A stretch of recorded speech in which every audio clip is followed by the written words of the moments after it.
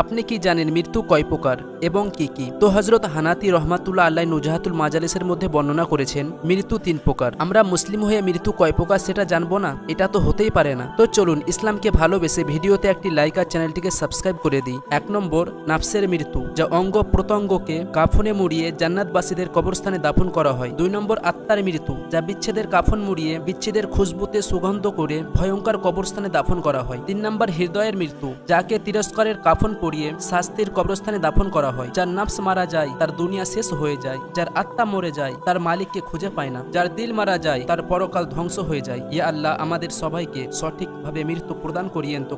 বন্ধুরা, আপনি কি জানেন কবরের প্রথম রাত কীরকম হয়? যখনই মৃত্যু ব্যক্তিকে কবরে দাফন করে, তখনই কবরের প্রথম রাত শুরু হয়ে যায়। ওই রাত খুবই কঠিন হয়, যেটা মৃত্যু ব্যক্তি বুঝতে পারে, আর ওই রাতে কেউ বাঁচতে পারবে না। ওই সময় দুইটি ফারিস্তা মুনকার নাকির আসে, আর তাকে তিনটি প্রশ্ন করে। যদি সেই ব্যক্তি তিনটি প্রশ্নের উত্তর দিয়ে দেয়, তাহলে তার কবরকে জান্নাতি বানিয়ে দেবে। আর যদি তিনটি প্রশ্নের উত্তর দিতে না পারে তাহলে তার কবর জাহান্নামের একটি ঘর তৈরি হয়ে যাবে, যেখানে তাকে কিয়ামত পর্যন্ত আজাব দেওয়া হবে। হে আল্লাহ, সমস্ত মুসলমানকে কবরের আজাব থেকে বাঁচিয়ে রাখিও তো। আপনি কি জানেন, গরু কথা কেন বলতে পারে না? তো নুজাহাতুল মাজালিসের মধ্যে বর্ণনা আছে, যখন হজরত আদম আল ইসলাম পৃথিবীতে এসেছিলেন আর আপনার তোবা কবুল হয়ে গিয়েছিল, তখন হজরত জিব্রাল আল ইসলাম দুইটি লাল রঙের গরু নিয়ে এসেছিলেন আর হজরত আদম আল ইসলাম চাষবাসের কাজ শুরু করে দিয়েছিলেন। যখন চাষ করছিলেন, তখন গরুকে থামাবার জন্য এক লাঠি মেরেছিলেন আর বললেন, থাম। তখন গরু বলল, আমাকে কেন মারলেন? তখন হজরত আদম আল ইসলাম বললেন, আমি যখন থামতে বললাম, তখন থামলি না কেন? তাই তোকে মারলাম। তখন গরু বলল, আপনাকে তো আল্লাহ তালা গমের দানা খেতে মানা করেছিল, তাও আপনি কেন খেয়েছিলেন? কই আল্লাহ তালা আপনাকে সাজা দেয়নি? এই কথাটি শুনে হজরত আদম আল ইসলাম কান্না করতে লাগলেন আর আল্লাহকে বললেন,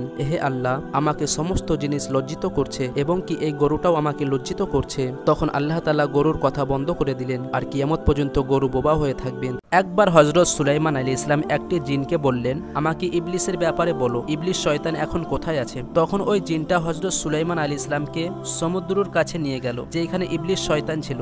ইবলিস শয়তান পানির ওপরে বিছানা বিছিয়ে বসেছিল। হজরত সুলাইমান আলী ইসলাম ইবলিসকে বলল, এ ইবলিস বল, আল্লাহর কাছে কোন কাজটা সব থেকে খারাপ আর সব থেকে ভালো কাজ কোনটা? তখন ইবলিস বলল, হে আল্লাহর নবী, আপনি যদি এইখানে না আসতেন, তাহলে আমি কখনোই এই কথাগুলো বলতাম না। তখন ইবলিস শয়তান বলল, আল্লাহর কাছে সব থেকে খারাপ কাজ হলো জেনা করা, আর সব থেকে ভালো কাজ হলো জেনা থেকে বেঁচে থাকা। হে আল্লাহ, সমস্ত মুসলিম ভাই বোনকে জেনা করা থেকে হেফাজতে রাখিও। আপনি কি জানেন প্রতি বছর নীল সাগরের পানি কেন শুকিয়ে যেত? তো হজরত আমার বিন আস রদি আল্লাহ তাল আনহু বর্ণনা করেছেন, প্রতি বছর নীল নদে একটি কুমারী মেয়েকে কুরবানি করা হবে। তা না হলে নীল নদী শুকিয়ে যাবে। হজরত আমার বিন আস হজরত উমারে ফারুক রদিয়াল্লাহ তালা আনুর কাছে চিঠি পাঠালেন আর সমস্ত কথাগুলি বললেন আর হজরত উমার ফারুক রদিয়াল্লাহ তালা আনহু সমস্ত ঘটনাটি বুঝতে পারলেন আর তিনি নীল নদের জন্য একটি চিঠি লিখে পাঠিয়ে দিলেন। চিঠিতে লেখা ছিল, এ নীল নদী, তুই যদি নিজের ব্যক্তিগতভাবে প্রবাহিত হয়ে চলিস, তাহলে আমাদের তোর কোনো প্রয়োজন নেই। আর যদি তুই আল্লাহর হুকুমে চলিস, তাহলে আল্লাহর নামে চলতে থাক। যখন এই চিঠিটাকে